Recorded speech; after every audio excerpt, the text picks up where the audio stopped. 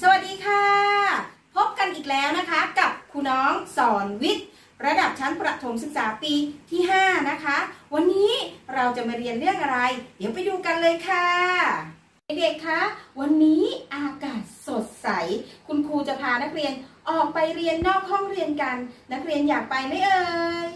ถ้าอยากไปนักเรียนอย่าลืมเตรียมอุปกรณ์เครื่องเขียน หนังสือรายวิชาวิทยาศาสตร์ และแบบฝึกหัดไปด้วยนะคะ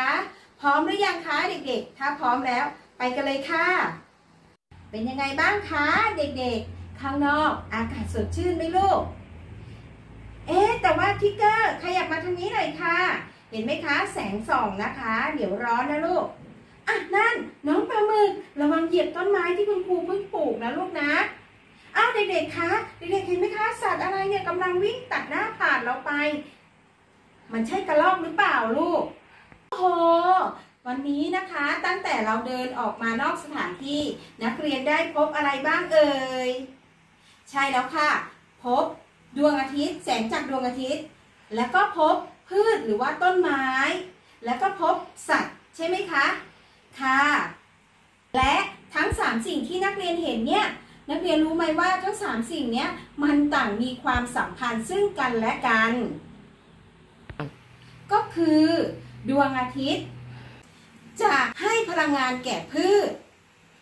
และพืชก็จะเป็นอาหารของสัตว์ ส่วนสัตว์ก็จะกินพืชแล้วก็สัตว์ที่มีขนาดเล็กเป็นอาหารนั่นเองค่ะ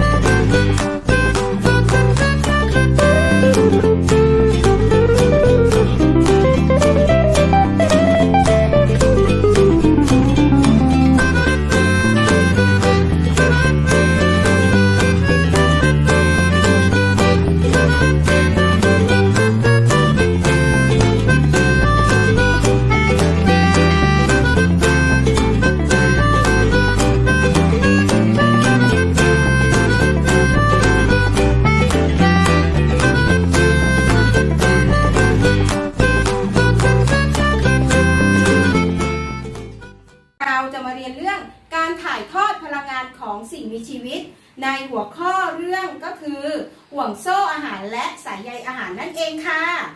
ก่อนอื่นเลยนะคะเด็กๆ เราต้องทราบความหมายของโซ่อาหารกันก่อนนะคะ และห่วงโซ่อาหารก็คือ ความสัมพันธ์ของกลุ่มสิ่งมีชีวิต ที่มีการกินต่อกันเป็นทอดๆ จากผู้ผลิตสู่ผู้บริโภคทำให้มีการถ่ายทอดพลังงานในอาหารต่อเนื่องกันเป็นลำดับ จากการกินต่อกันนั่นเองค่ะ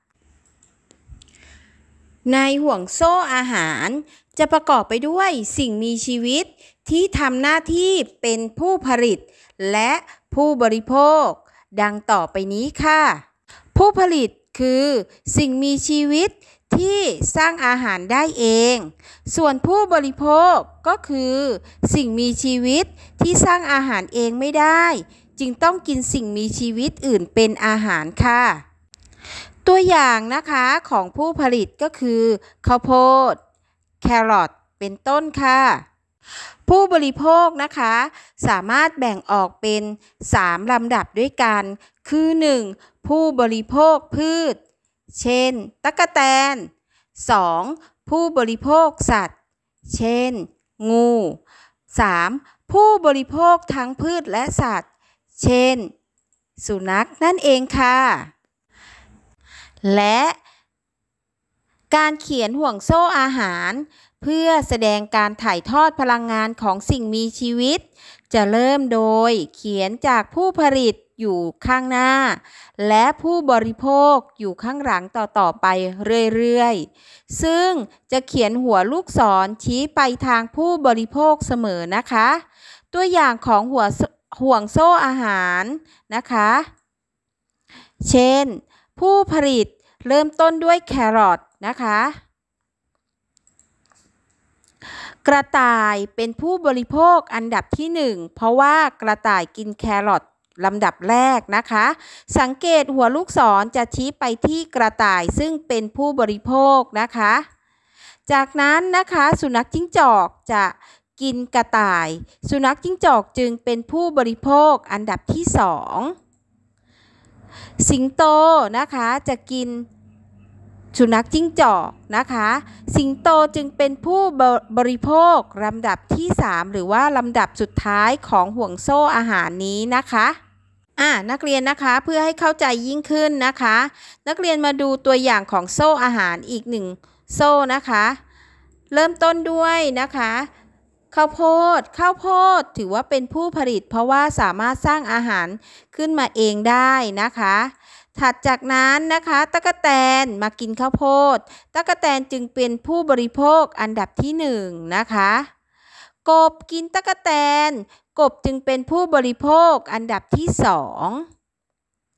และงูนะคะ กินกบ งูจึงเป็นผู้บริโภคลำดับที่สาม เหยี่ยวนะคะ สุดท้ายเลยเหยี่ยวมากินงู เหยี่ยวจึงเป็นผู้บริโภคลำดับสุดท้ายนั่นเองค่ะ และจากห่วงโซ่นี้นะคะ พลังงานก็จะถูกถ่ายทอดไปนะคะ โดยใช้หลัก กด 10%นะคะ เริ่มต้นด้วยพลังงานจะอยู่เต็มๆเลยอยู่ที่ข้าวโพดนะคะ ถัดจากนั้นนะคะ ถูกตะกะแตนกินก็จะถูกลบไปอีก 10%นะคะ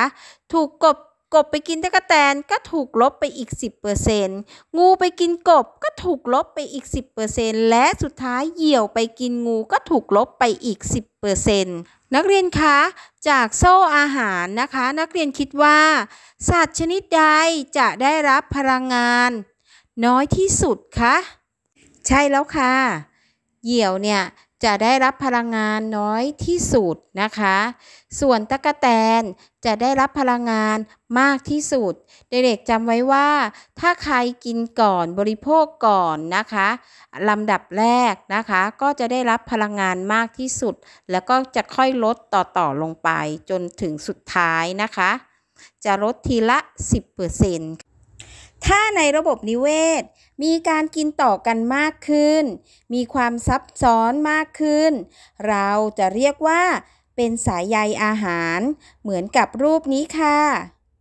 ซึ่งการกินต่อกันอยู่ในลักษณะแบบนี้ จะส่งผลให้ระบบนิเวศนั้นๆ เกิดความสมดุลนั่นเอง ก็จบไปแล้วนะคะ กับ เรื่องห่วงโซ่อาหาร และสายใยอาหารค่ะ เด็กๆอย่าลืม อ่านหนังสือทบทวนบทเรียนที่คุณครูได้เรียนมาในวันนี้นะคะ